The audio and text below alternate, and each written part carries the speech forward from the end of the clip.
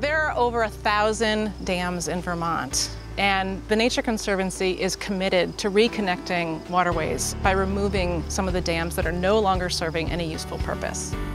When we took a look at this particular dam, we knew that there was an opportunity to restore stream habitat, to connect 98 miles of fisheries and fisheries habitat, to provide some flood resiliency, and also to provide recreational opportunities.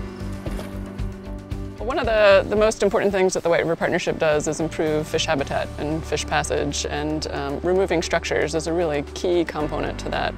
The Randolph Dam is a, an 80 foot wide, 5 foot tall structure, and when you look at it, it doesn't look terribly large or imposing, but from a, an aquatic organism passage standpoint, our native species can only jump about a foot. And so a 5 foot tall barrier, even though it doesn't seem fairly large in, in the scale of the watershed, has a real impact on those fish species.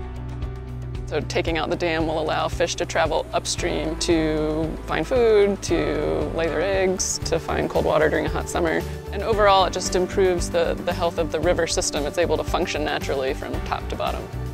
I feel really lucky to live in this area and have the opportunities to fish on the White River. I think it's a really beautiful and unique watershed with uh, long undammed portions already on the main stem and now to have this dam removed on the third branch is a great benefit for us. And this should increase fish populations and from a community perspective is really desirable because we've got this beautiful little downtown. It's right there where the dam removal was. So you have recreation both for angling and for uh, paddling and just swimming, wading in the river. People are really gonna enjoy that area.